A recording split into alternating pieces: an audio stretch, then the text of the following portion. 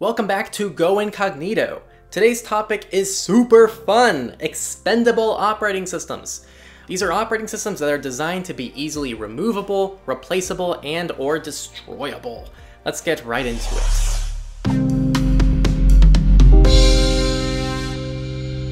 One of the things we do to help spread privacy to as many people as possible is host several communities where you can mingle with other people passionate about privacy and security, like you. You'll find our communities on Discord, Matrix, and Telegram. Uh, if you're more interested in staying up to date with our content and projects, we are on Twitter and Patreon as well for more consistent updates on what's happening on our ends. Enjoy the rest of the lesson. To begin, virtual machines allow you to run operating systems within your current operating system, opening up many possibilities. To start with security, VMs run guest operating systems completely sandboxed and separate from your host operating system. So if you buy a Mac, your host operating system is Mac OS. You can set up a Windows, Linux, or another Mac OS operating system inside a virtual machine. This would be your guest OS. The host is your real one, so to speak, and the guest is your expendable virtual machine running on top of your host. This is great for security because it's isolated from your actual system as long as you don't share folders between the two systems. Now, there have been cases, although very few, of exploits that would allow the host OS to be infected from a guest operating system.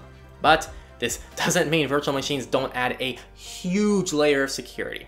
You can even run something like QubesOS, which keeps its programs in mini virtual machines, if that's the way you want it to go.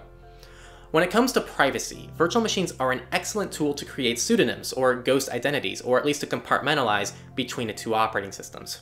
They are expendable, can be deleted in a couple mouse clicks, and are separate from your host operating system, so nothing is mixed between identities and operating systems. As an example, let's say I was using my personal computer for work, but I wanted to separate my personal life from my work life. I can create a Debian, a Linux distribution VM, to store my personal information and have no work data whatsoever inside of it. I can set up another VM running something like Whonix to handle sensitive data. We'll cover Whonix later.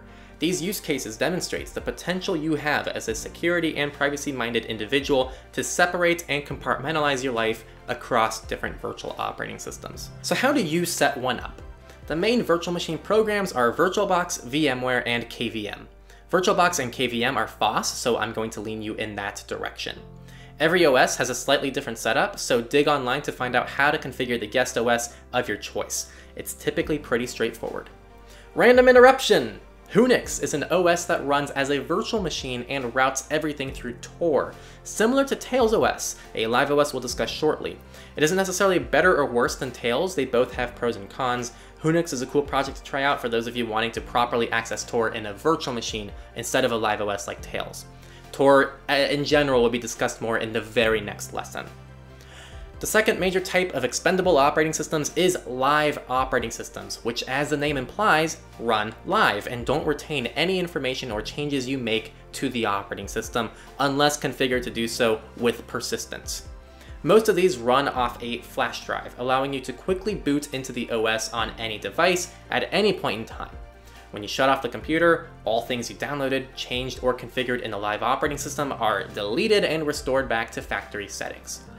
Probably the most well-known strictly live operating system is Tails. It is built on the Linux distribution Debian and tunnels all of your traffic through Tor, similar to Whonix. Tails attempts to offer an all-in-one anonymization tool, but keep in mind you still have to use it in an anonymous fashion and not rely on it being your only tool to protect you. Most Linux distributions allow you to create a live OS variant on a flash drive, so you can do this with almost all Linux distributions. Similar to virtual machine separation, live operating systems gives us similar functionality that you can bring with you everywhere and delete all of your data when you shut it off. Truly expendable. Maybe you have a live version of Fedora to do banking, Tails OS for anonymizing your casual web traffic, or a Debian flash drive used for personal accounts like email. Being able to separate your life is essential, as we'll discuss in section 6, and having like an expendable arsenal of flash drives is something very cool to have with infinite opportunities for your individual needs, and you can carry it with you everywhere you go. That's going to wrap up expendable operating systems. The next lesson we'll talk about Tor, which I'm sure is a topic many of you are looking forward to viewing. I'll see you then, and thank you for watching.